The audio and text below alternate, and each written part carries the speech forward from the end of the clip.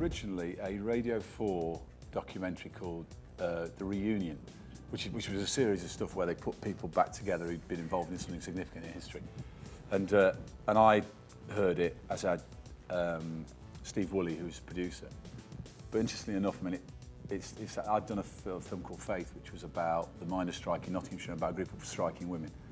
And he kind of went, they had a bulb moment and went, he's the bloke that's striking women. And um, so just then rang up and said, look, do you think, might there be a film in this? And then we, at that point, we, we just went and we found out which of the ladies were still uh, alive and went and met some of the ladies. So, but at, at that to start with, there was, there was just, there was the radio documentary about the strike, and, and that was the starting point. Uh, well, Girl with a Pearl Earring obviously was a book, um, and the, the kind of significant thing about that was that it was a very, I mean, actually I read the book before it was published, it was a, an extremely recent book. It was a book that was very consciously historical, and I met the author Tracy Chevalier and talked about her research, and I then rather slightly kind of felt almost like her shadow. I then went around to all the same people that she had talked to um, and did more or less the same research that she had done. And it was incredibly reassuring because, you know, everything she put in the book was incredibly true and accurate. Uh, it was Debbie's book, um, Touching from Distance. Uh, Debbie, obviously Ian's widow. Uh, a really deep, intense, dark book uh, and an original uh, point of view in the fact that it's, it was the wife's girlfriend's point of view of the rock star relationship. And someone had bought the rights, some Americans weren't big producers, and they had a script out, the first script that they had they didn't like. It was written by an American and apparently a big Joy Division fan. And they, by fluke, wanted a, a, a young Manc to, to come in and, and, and do it again. They didn't even show me the first script. So, you know, it was a case of I just looked at the book and there's just so much great stuff in it. Uh -huh. But I had to turn it on its head and make it Ian's POV because you know, he was the star.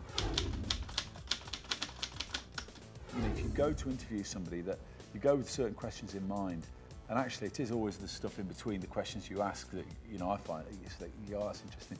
But also that from the point of view of the interviewee, very often I think that, you know, you go down and you, they know it's about the, the Ford strike of 1968, so they've dredged all their memories up about that. Mm -hmm. and, and very often it, you do need to go, you need to spend a lot of time with people for them to a to come to trust you, but just also so that the stuff the stuff sort of filters through as they revisit it, and and then they, they then start telling you the incidental stuff, which again is is the is the real re, the really kind of nice stuff.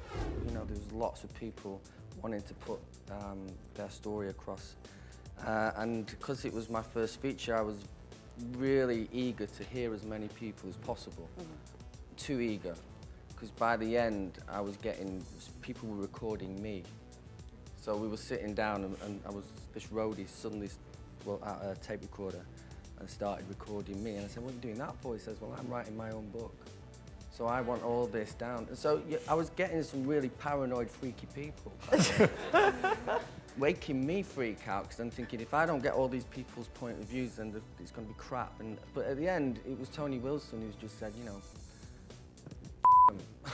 just go off and write what you think because you get the basic setup of the characters and at the end of the day you have to own those characters in order to progress.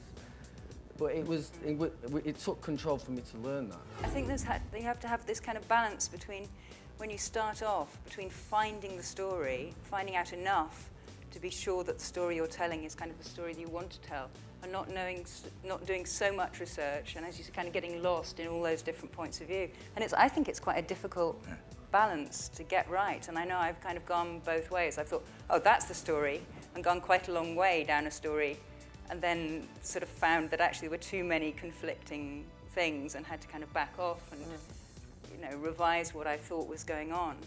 Um, and then, but I've also done the other thing, which is to get, you know, 500 different points of view, and then you can't tell a story at all because yeah, you're yeah. so kind of snowblind with it all.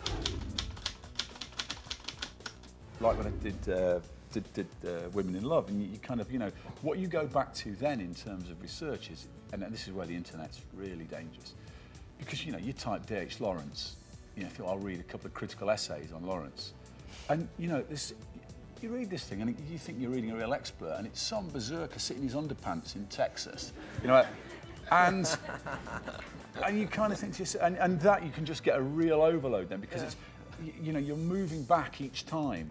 And interestingly, the, and I don't know if you found, you know, if you found this, you know, because I'd never worked on a novel before, but, but for me, the, the, the process there was to just kind of research the circumstances in which it was written, and then just to try and get away from mm. all of that other interpretation around the, the other writer that you're going through, mm-hmm. just to leave it as clean as possible. But that was, that was hard because there was so, you know, there's so much out there. I feel that my research, the kind of rhythm of it has changed slightly because I used to have a period when I went to the British Library or I went to the Colindale, to the newspaper library, you know, and I had to dedicate three days to reading all that material and I'd have to book, you know, you used to have to go and book your seat in the newspaper library and book up, you know, I'd like to have 1888 to 1893, please.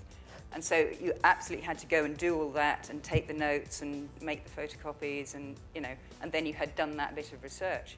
Whereas now, you know, I can go, hmm, I can't quite remember, you know, what did happen in 1893? Oh, New York Times, thank you very much, you know. And it's, so you don't have to kind of choose, you can do it more, more as you're going along. And I found that has been really helpful because rather than having a lump of research and then sort of forgetting half of it and, Yeah. you know, trying to write and then thinking, oh, I must go back and look at the research again. I can actually look for things when I need them and when they come up in the story and you think, oh, I really actually, uh, you know, when they say driving a four in hand, I've just been doing a thing with lots of carriages in it. So I, you suddenly realise you need to know what different carriages are because it's going to make a difference to the storytelling. And you can immediately find, you know, the wonderful person who has a complete online museum of Yeah. every carriage that was ever invented. God bless him. Well, I think the internet's fantastic. I really do. I, I love it. I mean, you know, I'm just doing this thing about Paul Raymond, and I've just been able to get everything, uh, all the articles that have ever been written about him, just at the, you know, the press of the button, Yeah. and you've got them there in print out. And I think maybe, you know, it depends on what kind of genre you're writing in with the internet. When you're researching, you've got to spend money, time researching, actually reading the stuff that you print out. You can spend all day putting your credit card into things, buying books, and not have done anything all day. Really, that, that's that's the worst thing. Is one big tip is when you're researching, read what you're researching. But I think in general, no, I think it is what. it- to me, you can spend hours on it, and but at the, at the same time, I like going into that world, whe- Right. whether it's actually, you know, I use it in the end or not. Mm-hmm. I think I'm constantly educating myself. I've just done something about rowing, and I thought, well, I've, I've never rowed in my life. So I rang up the University 8. I said, can I come down and have a row with you? Never again. And, um, but was really interesting. I've quite got into it now, actually, just saying never again. And, uh, and I thought to myself, this is really interesting because I just actually, you know, you're writing a scene, and I actually know what it feels like now when you go blind because you can't breathe and you're going to be sick and all the rest of it. And so there are times where it's actually quite useful just to, it's not to do with, you know, that, how that all fits in there or anything like that, but actually that you've, and that I've, I know how to work a machine. You know, I, I can, if you need a car seat knocking up, I'm your man. and um, so little things like that, just to know it, for how your fingers feel at the end of the day. And just, and I, I sometimes, and I, at times when I was doing that, I thought, well, it is just an excuse to go and have a row and play on it. But at the same time, it's, that isn't interesting how that can sometimes feed through as well. And I think that's a kind of, in a way, that's a different, it's almost like psycho, sort of like a psychological, emotional research. But I do think that is really, really useful. When I went to Mendips and you know we got, we got a special tour around there, I just knew that I was I was doing the most amazing job in the world because I, you know you're in John Lennon's room. As soon as you start seeing the real places and you do, the, I mean that that to me is you start infusing yourself with with things that really aren't tangible. You know you you really start creating from inside inside. Uh, you know I did the walk from John's house to Paul's house which they used to do, and you just suddenly start becoming John Lennon. It's great. I- I- and I think going to the locations, and, and I always put pictures up in the, in the office as well. I walk in and it's like a, a gallery of what the film is about, of, of, of people and of places. And uh, it's just so important, really, really important, just to get a feel of, of what the place looked like. true stories are very unwieldy and undramatic and lots of stuff happens and you know it's not really going to work as a story so at some point you're going to have to make decisions about simplifying things about amalgamating characters or creating a fictional character instead of the real ones. Um, you're going to have to change things in the, the order of events, or you're going to have to squeeze, you know, things will have to be changed in order to make it a dramatically viable story.